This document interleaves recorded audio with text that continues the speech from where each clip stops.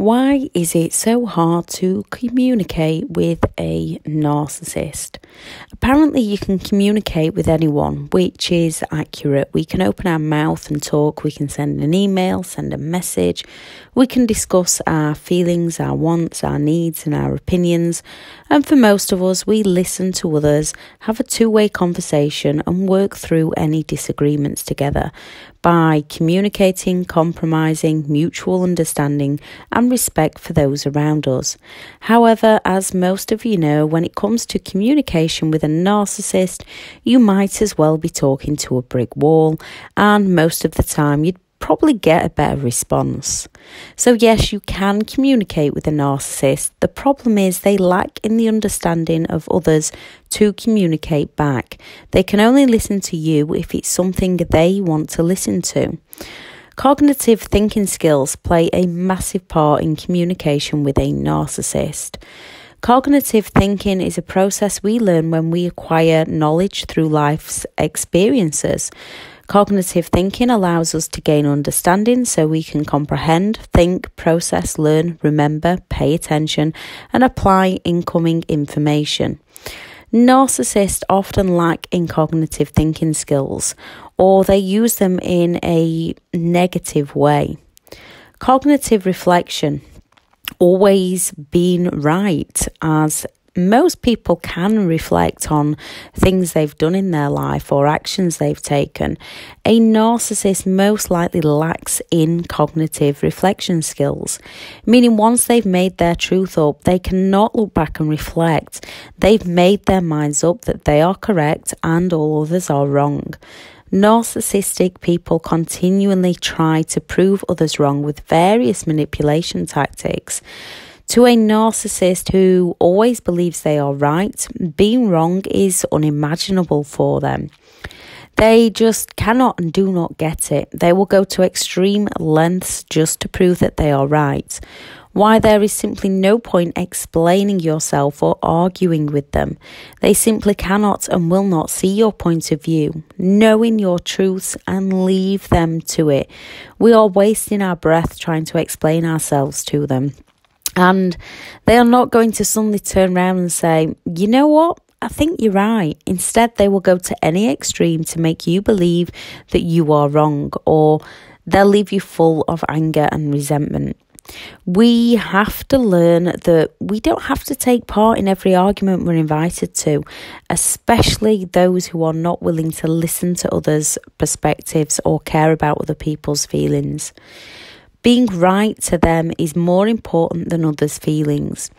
That, with their lack of empathy, means for us going against what their truth is can lead to devastating consequences for us. Sometimes, why, when they are gaslighting us, they do it so well as to them it is their reality and it is their truth, and they shall not be swayed.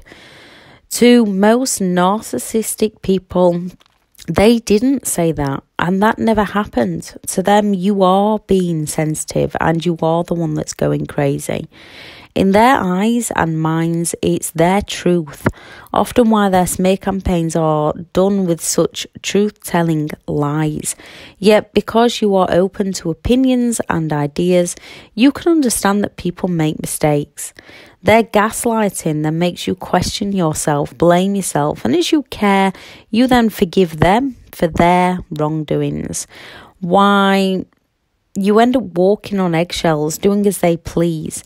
They can treat you so well. You then start to look at yourself, to blame yourself, all the more when they start mistreating you, as reality is showing you how good they can treat you, yet reality is also showing you just how wrong they treat you.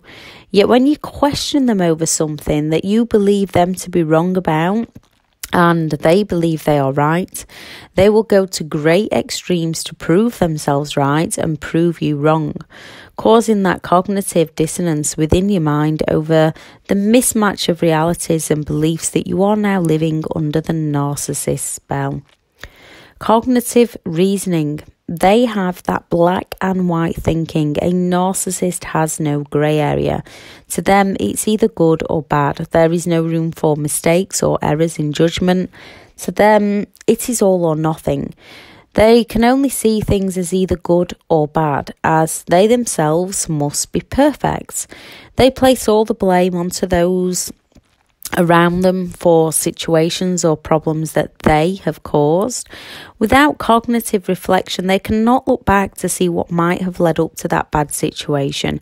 And without empathy, they cannot see how someone else might be feeling.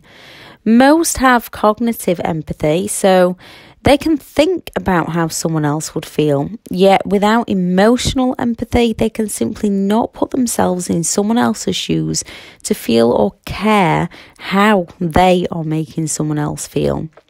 This is why most of them will project all their failures and faults onto others, as to them they are entitled and they are superior. Any mistakes made or achievements missed, they will place that blame onto someone else. Being around this on a continued basis leaves us feeling like we are at fault, as all their projection is slowly drip fed into our minds. Also, why we are somewhat too forgiving as we can see the good in them. Often, with all their blame shifting when the bad comes out, we are led to believe this is our fault. It is never your fault. Cognitive distortions, the blame game. Those on the disorder blame all others for anything that is wrong within their own lives, meaning they are unable or unwilling or unaware of what actions they've taken towards others, the mistakes they have made. So they cannot make changes to who they are as they simply do not see themselves as the problem. With all the manipulative blame shifting tactics, we go the other way and start to blame ourselves for everything, when in reality, not everything is our responsibility or our fault. We do have to take responsibility for our own actions, but we have to pass responsibility back to others for theirs. With their triangulation and silent treatment, we start to look at ourselves to see what we've done wrong and how we could do better. This is actually good news as it means you have the ability to reflect, to look at the past, to learn from mistakes, to grow from them, and to change them. The biggest lesson here is to learn who we are, to learn the behaviour we will and will not accept from those around us, learn our own worth, learn our own truth, learning to let go of those who only seek to steal our joy and no longer looking to always blame ourselves, taking the responsibility for what mistakes we have made and passing those we did not back to the rightful owner. Our own self awareness is vital change. A narcissist does not see why they need to change, and as they have a disorder, it's who they are. Most often, they cannot see their own faults, they can only pass them on to others, and therefore see all their own problems as being caused by those around them, believing others need to change to suit them. Again, with the gaslighting of if you hadn't, I wouldn't, and most genuinely believe that if you hadn't, they wouldn't. However, most often you haven't actually done anything wrong. They will find something, they will find anything you did, and they will magnify this to put the blame at your door. They will then provoke you to get a reaction out of you so they can find something to blame it on you. With us, we are slowly manipulated into their negative ways of thinking. It infects our minds. Yet, with their gaslighting, projection, blame shifting, arguments, silent treatments, and the rest, we are led to believe that it's us that needs to change. And we all need to learn and grow, but we don't need to change to suit other people, only to suit ourselves. Our minds are led to believe this is true as they often offer intermittent times where they play nice and magnify something we did to deserve them being nice to us. So we are left changing who we are time and time again to suit them to attract their nice side and walking on eggshells to avoid their nasty side. In truth, they have a disorder and it's who they are. You did nothing to cause it. There's nothing you can do to change it, and there's nothing you can do to control it. You can, however, learn who they are, what and why they do what they do, and learn how to handle them why you don't need to defend yourself to them, why you don't need to change for them. No one deserves this treatment. You did nothing wrong. Trying to help others is good. Just help those who are willing to be helped and leave those who only want to bring you down. No empathy. Compassionate empathy. When we can think and feel how another person is feeling, then we become extremely moved to help them in any way we can. This is the empathetic ability narcissists are completely lacking in and what can keep us trapped within a narcissistic relationship. No matter who that narcissist is within your life, a friend, family member, boss, partner, we can think how they feel. We can feel how they feel and are moved to helping them why even the grandiose narcissist might pull out the victim card to pull on your empathy and get their own needs met. Also, why they can hurt you so badly and just walk away. They cannot think and feel about how you might be feeling. They have detached their emotions and simply do not care, especially if their own needs are being met elsewhere.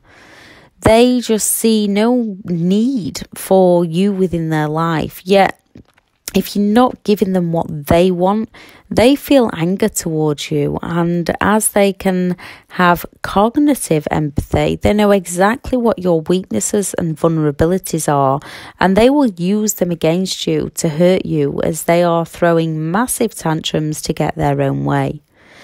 Narcissists potentially have negative empathy and they might actually have empathy is just different from those who genuinely care about others. Where they can see the empathy in others, they use empathy to manipulate, to take people down, to find the empathy in another towards them and use it against them to meet their own needs. And once those needs are no longer getting met, they seek to destroy. They use people's caring, empathetic side against them, just like their negative emotions. So they might have the cogn- cognitive empathy, um, so they can think empathetically, yet they can only use it to see another's empathy as a way they can gain control. What vulnerabilities they can use against someone to manipulate, yet they don't have the emotional empathy to actually care about what another person might be feeling. People with understanding can still feel anger and rage when they are provoked. People with empathy still feel anger and rage when provoked by others on things that they care about the most. Narcissistic people can pick up on others' empathy on what others genuinely care about. Then, instead of using positive empathy to connect in a positive way to help others, to lift others up, they use what people care about the most to hurt people the most, so they can manipulate to get their own needs met. How can you communicate with a narcissist? The best advice is don't. Go no contact, leave them to live their life, and you go and live yours. Yet, this isn't always possible how to communicate with a narcissist to get your point of view across correctly without an argument. If you still live or work with a narcissist or someone that's not a narcissist but has some traits, or you've left them, um, they've left you, and you have children together. There is ways to deal with the disagreements and arguments, and there is ways to stop yourself from getting drawn in. Narcissists love to draw you into non productive arguments to gain whatever attention and emotion they can from you. It's just programmed into them. It's how their minds work from manipulating you to controlling you to get a reaction from you to spoil your day to their opinion is correct and no one else's matters. They only care about themselves. It's a case of my way and nobody else matters way. There is a way to communicate with a narcissist if your opinion is different from theirs. They however, will want to argue and fight. So, first, knowing what's going on in their head, the more knowledge you have about how they think, the more power you will have in being able to regain control of your life. With a narcissist, it's all about them, and to them, you are in the wrong. If they did something wrong, of course, to them, it wasn't actually them. They're not accountable. To them, it's you that made them act that way. They believe that they are entitled and they are better than everyone else when realistically, everyone is good enough to be who they want to be. With a narcissist, it's all tactics and gameplay. Anything and everything they do is to keep them in control of those around them. They will get control with persuasion and manipulation with their tone of voice and the words they use. All else fails, they will go for the silent treatment or violence. They are stubborn and have a closed mind. If it's of no benefit to them, they simply do not care. The worst thing you can do is argue with them. They love the emotional reactions and the attention you give them.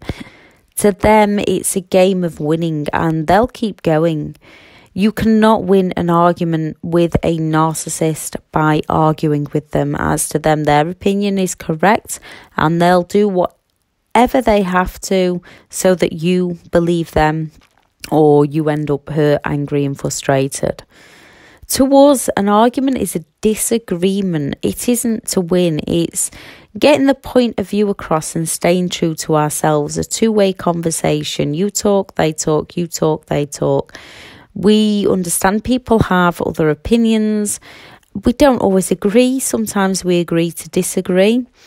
Whereas a narcissist will just happily keep going and provoking people. If you think you can go to a narcissist to explain your thoughts or your feelings, why you've done something, why what they did has hurt the children, believing you can explain it to them, it's not going to happen. They'll either see it as criticism, which they hate, or they'll just not think your opinion matters as they're always right. They think they are superior and no one will be able to change their mind. With that lack of empathy towards others, they cannot see what they do to other people. So, if they have hurt you or your children, they don't care, they don't see it, they just feed off your attention, positive or negative. Some narcissists on the extreme do see what they are doing and are a lot more calculated in how they do it. Those you really need to go no contact with. A narcissist only thinks their own way and they will never take other opinions on board. As to them, if it doesn't match theirs, you are wrong. They don't want to or need to understand others. They also hate to think you feel competent within yourself. Whatever you think, say, or do that doesn't match the narcissist, they believe you are wrong. You have to remember when you're trying to discuss anything with a narcissist and you are, in effect, talking to a toddler, not getting their own way.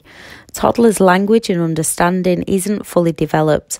When they've been caught red handed doing something that they shouldn't, most toddlers, like all narcissists, will lie or deny all knowledge when you are asking a toddler to do something they don't want to do. They can stop, sulk, stare you out, play the waiting game, lash out to see if you will give in before the toddler does. When you say no to a toddler where they haven't learned to control their emotions, they can scream the house down.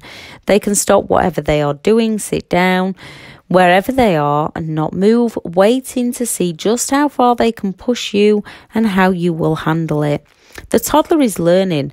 Toddlers can try many methods to see if they can have their needs met until they learn and develop as they grow how to handle their emotions and how to communicate the right way. Most often, you cannot reason with a toddler. You reward a toddler for good behaviour and punish for bad behaviour. Level up is one method used to communicate with a narcissist to get the right outcome for you. Narcissistic people live for attention. Take that attention away, and like toddlers, they might act out to receive some, yet the longer you give no reaction to their negative behaviour, the more chance you'll have of them either leaving you alone and finding attention elsewhere or playing nice to receive your attention. At that point, when they play nice, give them your attention. Not too much, just enough for them to learn how you will and will not be treated. This isn't easy. You have to be in a good place. You have to know who you are and you have to have great control or know how to deal with your emotions. Otherwise, you get sucked back into their games. So, how to deal with a narcissist is similar to how to deal with a toddler, which, if you've had a toddler, you'll know isn't always that easy. And like toddlers, they are individuals and they all act differently. They have the similar characteristics, the similar traits, but they are individuals. So, one, reward good behaviour. Make sure you compliment them for their good behaviour. So if your parent starts being nice to you, things like, I'm so pleased that we are getting along. When your adult child is speaking to you again, I'm so pleased we're talking again. When your ex arrives on time to pick up the children, thank you, the children and I really appreciate you. When they are late, just say things like the children were far happier last week when we kept to our arrangements. Could we try to keep that in the future, please? Or would you mind letting me know so I can pre warn the children as they are really excited when you are coming and they are pleased to see you? Yes, this is extremely difficult. You have to focus on the long term gains and not the short term pain of being nice to someone who treated you so wrong. You have to detach your feelings and focus on the outcome when you are left with no choice but to deal with these people. Using the term we in the sentence often helps as they see others as an extension of themselves. So, using the term we with them, you're not passing the blame onto anybody. Two, do not react to any of their negative behaviour. This only makes them do it all the more. As kryptonite is to Superman, no reaction is to a narcissist. And at the start, be prepared for them to up their games. If you need to seek protection orders, some are dangerous. So speak to the authorities and get those protection orders, go no contact, and move away from. Good people don't want or like manipulating others. However, the best way to communicate with anyone is to do so in a way that they communicate with you. Knowing that they understand on their level and with a narcissist lowering yourself to their level. I'm not saying fight back, argue, threaten. Don't do things like this. This just pulls you further into their games, leaves you with resentment, and it's not who you are. It's a case of when they don't get their own way, they can fall silent and wait for you to beg. When the narcissist does something to hurt you, stay silent. Not to get them to beg, to to have your own peace. Trying to discuss things with them is pointless. They are not listening to how you feel. A narcissist will be used to you making it up to them. So often when you fall silent, they will either up their games to get a reaction out of you, they will leave you alone, or they will start to play nice. And when they do start to play nice, acknowledge them. Don't bring up why you did whatever you did. Don't try and explain it to them. They are not interested.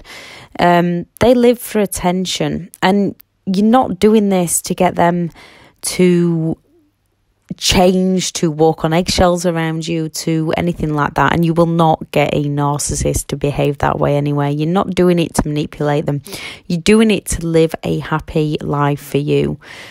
Don't get drawn into arguments. Remember, they will not change. They will not genuinely care for you. You are not doing this to please them. You are doing it for a calmer life.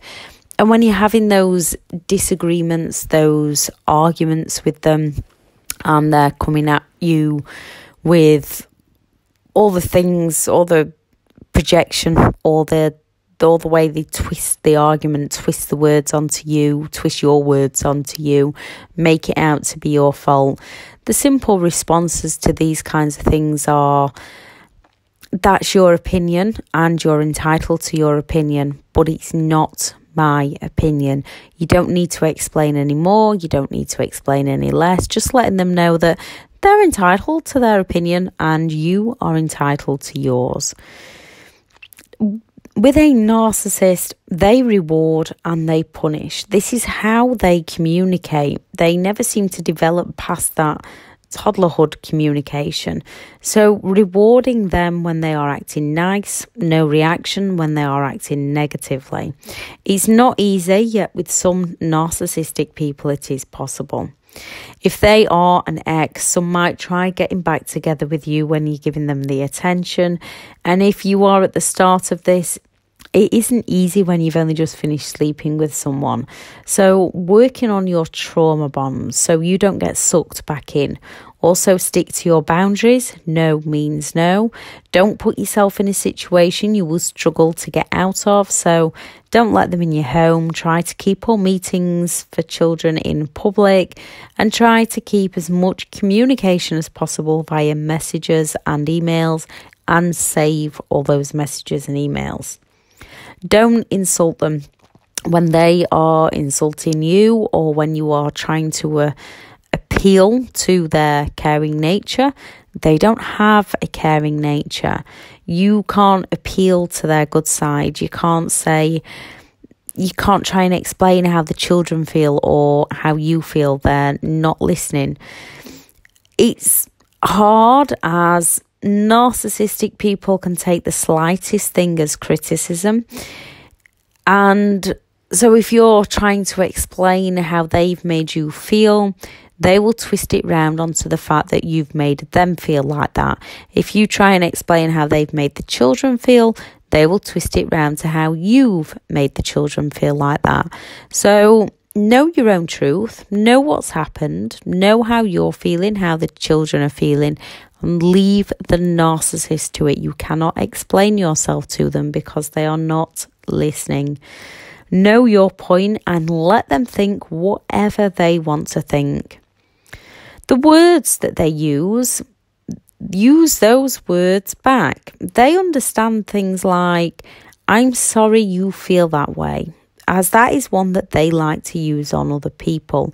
When they are not happy about not getting their own way with you anymore and they're feeling frustrated and they're coming at you with all the manipulative games, use that one on them. Just turn around and say, I'm sorry you feel that way. Observe their behaviour and it's an easy way to see how they work. Once we step out of the game, stop absorbing their words and their behaviour, and start observing what they do, what game they might try next. The, they do cycle round a pattern of behaviour, and when you can narcissistic people do actually study people, do actually study how people work. Now, you're not turning into a narcissist to do this because you're not doing it with everybody. You're doing it to protect yourself against a narcissist. So, studying their patterns of behaviour so you know what stunt they're going to pull next. Remember, what they do is never out of love, compassion, or caring about others. It is for them to look good and to win. Once you know what they are doing, it's far easier to step out of their game. The best thing is to distance yourself and love you for you, knowing your reasons come from a good place and a kind heart. And if the narcissist doesn't want to understand that, it's not your problem. Trying to explain yourself to them only leaves you frustrated. Most of them aren't listening, the rest of them do not care. Remember, you only define you, and others' opinions of you do not matter.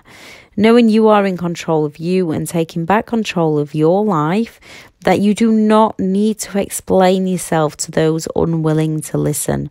When we explain ourselves to a narcissist, all that does is they then use it against us to keep us trapped in that situation.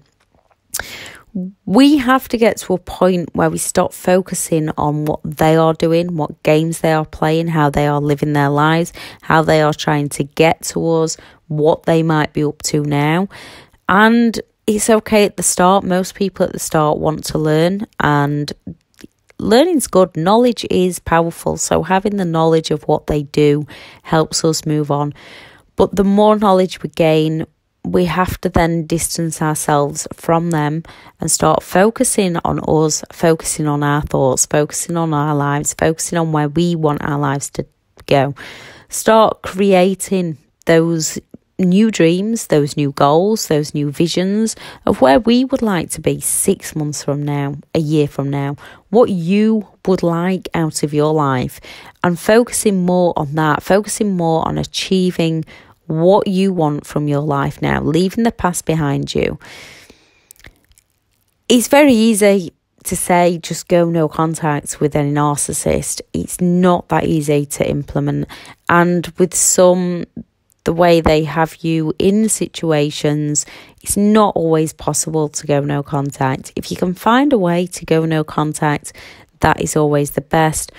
Otherwise, when it comes to communicating with them, you have to communicate with them on their level of understanding. So once you know how their minds work, you can learn different ways to communicate with them. And good people don't always like doing this because it feels like it does feel a bit like you're manipulating the narcissist. But that is the way the narcissist communicates. Don't get into verbal disagreements. Don't try to explain yourself to them they're not interested. Anyone has any advice on how they've managed to handle a narcissist, please do add it into the comments. The best is to give them no reactions. Take that attention away from them when they are being hurtful, negative, spiteful, whatever they're doing. Those that are dangerous, get yourself away from and get those protection orders out. I will add a link into the description of the step by step online course that I have available.